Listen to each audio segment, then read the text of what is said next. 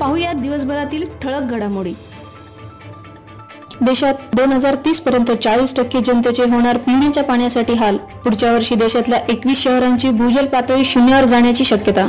काश्मीर समस्या सोडवण्यासाठी जगातील कोणतीही ताकद रोखू शकत नाही संरक्षण मंत्री राजनाथ सिंह यांचा पाकिस्तानला इशारा.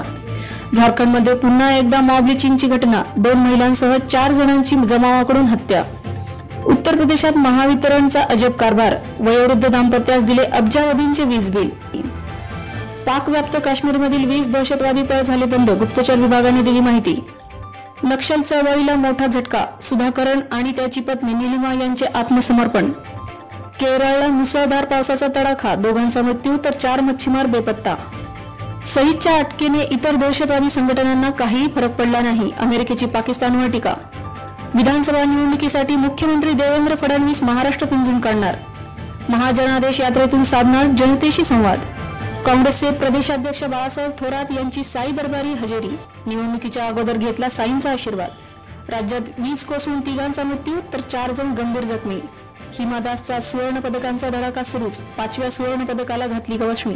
क्रिकेटर के एल राहुलच्या बंगल्यासाठी कायद्याचे उल्लंघन. दीड कोटी खर्च करून रस्ता बनवल्याचा काँग्रेसचा आरोप. दिल्लीतील उद्योजकाचा अभिनेत्री ईशा गुप्तावर मानहानीचा दावा.